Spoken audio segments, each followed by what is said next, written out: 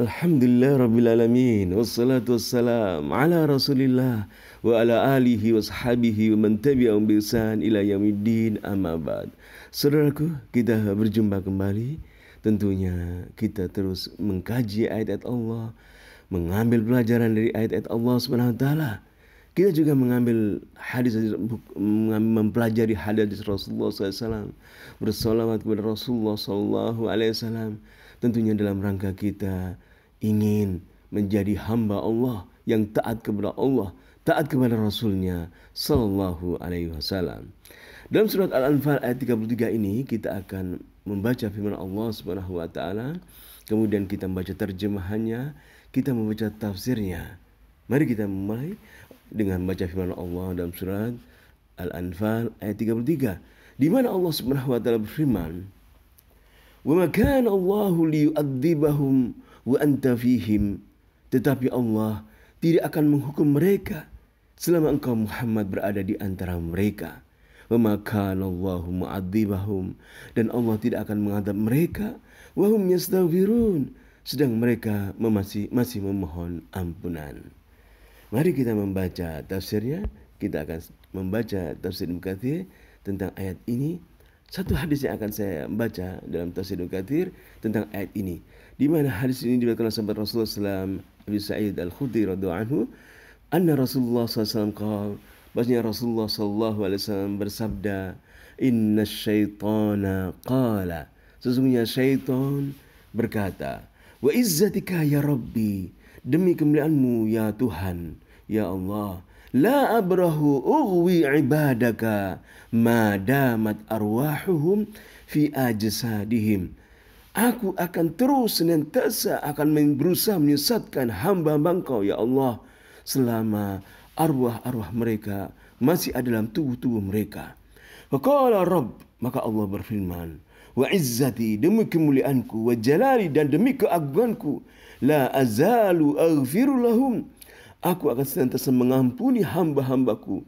Mastaghfaruni selama mereka memohon ampun kepada aku. Saudaraku, hadis ini menjelaskan bahwasanya Allah Subhanahu wa taala akan senantiasa mengampuni kita selama kita mohon ampunan kepada Allah Subhanahu wa taala. Sedangkan di sana syaitan senantiasa berusaha akan menyesatkan kita selama nyawa kita masih ada di tubuh kita. Maka marilah kita senantiasa memohon ampunan kepada Allah atas dosa-dosa kita senantiasa kita mengoreksi diri kita. Pasal kita adalah hamba Allah yang dhaif, yang lemah, yang senantiasa bersalah. Kita bukan orang bersih dan kita berusaha untuk membersihkan diri, memohon ampunan kepada Allah, taat kepada Allah, taat kepada Rasulnya. Karena tatkala syaitan bersumpah, wa izzati wa jala, tatkala syaitan bersumpah dalam hadis ini, wa izzati wa izzatika ya rabbi demi kemuliaanmu ya Tuhan la abrahu uwi ibadaka ma damat arwahum fi ajsadihim. Aku akan berusaha senantiasa berusaha untuk menyesatkan hamba-hamba engkau ya Allah selama arwah mereka masih ada dalam tubuh-tubuh mereka. Maka Allah berfirman wa izzati wa jalali demi keagunganku dan demi kemuliaanku la azalu aghfiru lahum. Aku senantiasa akan mengampuni mereka. Mastaghfiruni selama mereka memohon ampunan kepada aku. Mari kita mohon ampun kepada Allah. Senantiasa mohon ampun kepada Allah. Kita akan membaca hadis ini kita akan baca hadis ini dalam bentuk yang lain. Yaitu hadis ini terdapat dalam kitab sahih at-targhib. Di hadis nomor ke juz kedua halaman 270 hadis nomor 1617 di sini kita akan lihat dari sini dalam kitab Sahih At-Targhib karya Imam Al-Albani di mana dari An Abi Sa'id Al-Khudri radhiyallahu anhu an Nabi SAW qal qala iblis iblis berkata wa izzatika demi kemuliaanmu la abrahu ughwi ibadak aku akan senantiasa menyesatkan hamba-hambamu ya Allah madamat arwahum fi ajsadihim selama arwah mereka masih ada dalam tubuh-tubuh mereka. Lalu Allah berfirman, Wa izzati wa jalali, demi kemuliaanku dan keagunganku, la azalu aghfiru lahum. Aku akan senantiasa mengampuni mereka, mastaghfaruni, selama mereka memohon ampunan kepadaku.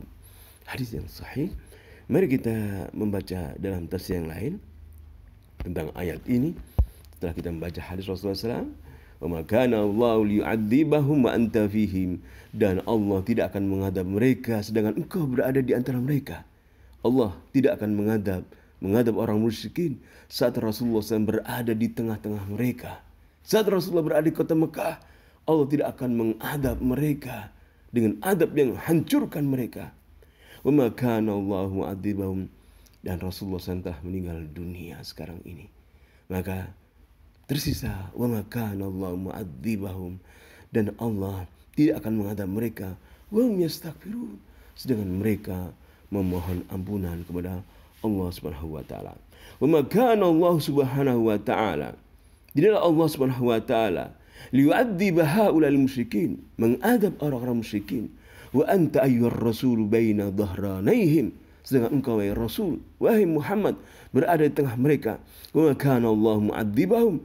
Dan Allah tidak akan mengadab mereka. Wa yastaghfiruna min dzunubihim sedangkan mereka mohon ampunan kepada Allah Subhanahu wa taala.